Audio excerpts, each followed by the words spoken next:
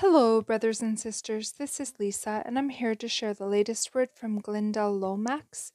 The title is Many Unexpected Events, and this word was posted April 3rd, 2023. My precious children, so many unexpected events will take place in your generation that men's hearts will fail them for fear.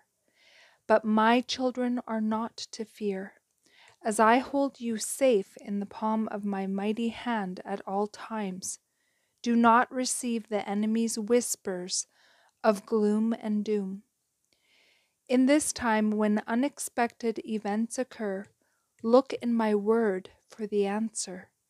Look in my word for your comfort, for I will always comfort you.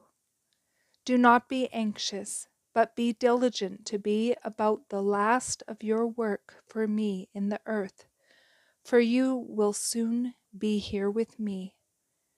And that is the end of this message.